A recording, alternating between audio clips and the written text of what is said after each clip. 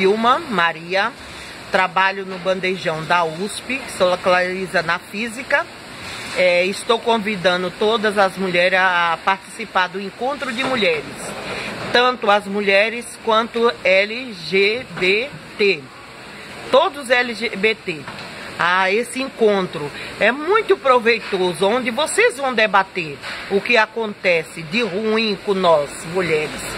E e eu tô convidando todas as mulheres, eu, Vilma, convido toda para esse encontro. Já convidei até minha mãe, que tem 82 anos, dia 29. Espero todas vocês, dia 29 de agosto.